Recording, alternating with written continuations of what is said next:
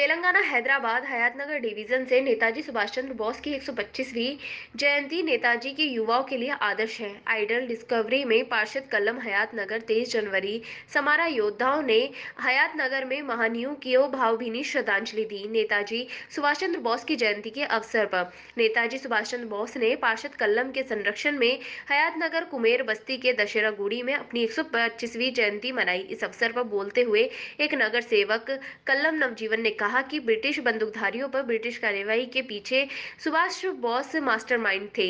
सुभाष बोस भारत की आज़ादी के लिए काम करने वाले नेताओं में से एक थे। सुभाष चंद्र बोस ने एक महान योद्धा है जो अमर है। पिपासी महामनीषी प्रतिमा के अनावरण के अवसर पर आपके साथ आकर पार्षद नवजीवन रेड्डी को गर्व हो रहा है। नेताजी सुभाष चंद्र बोस जो भारतीय स्वतंत्रता संग्राम के दौरान सेना में युवाओं का नेतृत्व करने वाले आज के युवाओं के लिए प्रेरणा रहे।